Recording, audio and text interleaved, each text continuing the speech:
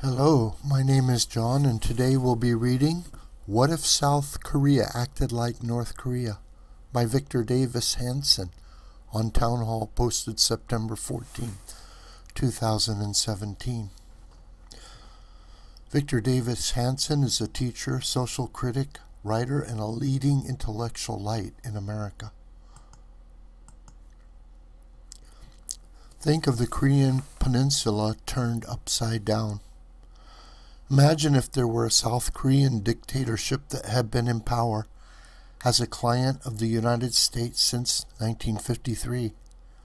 Imagine also that contemporary South Korea was not the rich, democratic home of Kia and Samsung.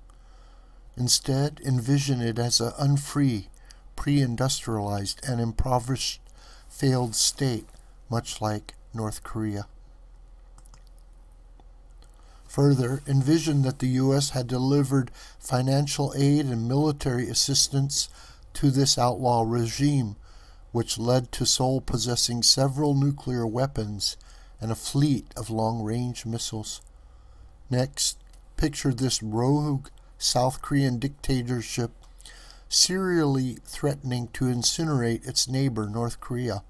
And imagine that North Korea was ruled not by the Kim dynasty, but by a benign government without nuclear weapons.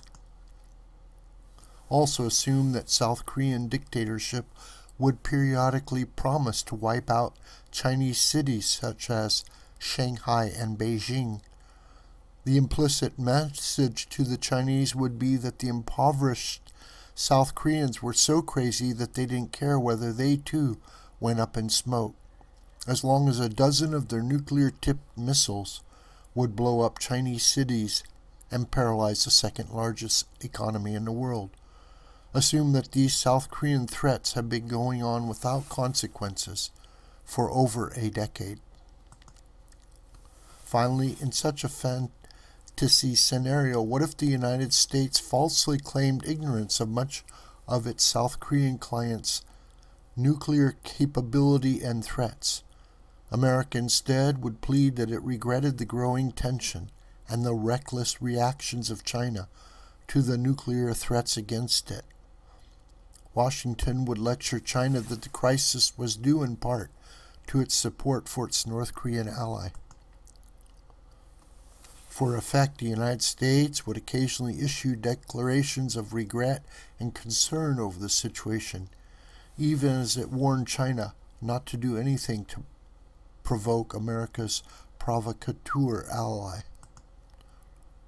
In such a fantasy, American security experts and military planners would gleefully factor a roguish nuclear South Korea into U.S. deterrence strategy. The Pentagon would privately collude with the South Korean dictatorship to keep the Chinese occupied and rattled, while the U.S. upped shipments of military weaponry to Seoul and overlooked its thermonuclear upgrades. The American military would be delighted that China would be tied down by having an unhinged nuclear dictatorship on its borders, one that periodically threatened to kill millions of Chinese. South Korea would up the ante of its bluster by occasionally test launching missiles in the direction of its neighbor. Question how long would China tolerate having weapons of mass destruction pointed at its major cities by an unbalanced, tyrannical regime?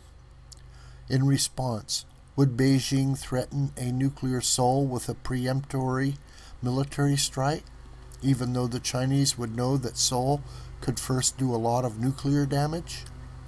Would China conclude that the United States was a real guilty party because it tacitly sanctioned South Korea's possession of nuclear weapons, would China then warn the U.S. to pressure Seoul to disarm? Would Beijing cease all trade with America? Would China boycott, embargo, or blockade South Korea?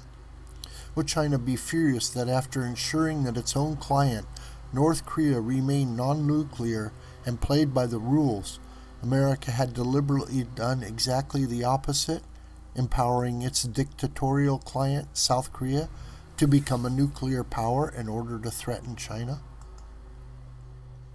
In other words, if China and North Korea found themselves in the same respective positions of current America and South Korea, the world may well have already seen a preemptive Chinese attack on Seoul to remove its nuclear capa capability.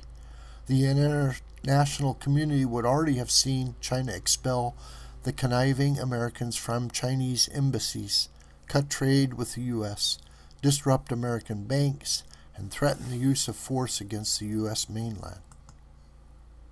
The truth of the North Korean missile crisis is not the boilerplate assumption that China is the key to the solution, but rather that China is, by design, the root of the problem.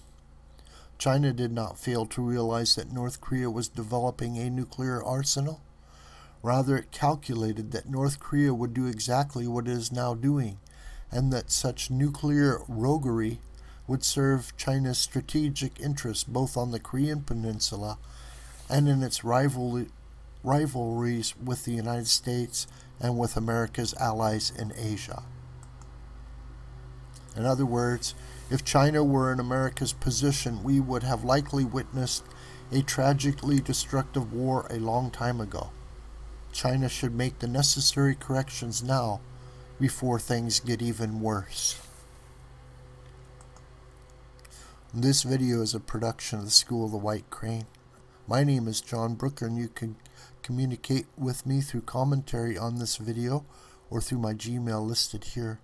Please share this video with family and friends and on social media. May God richly bless you.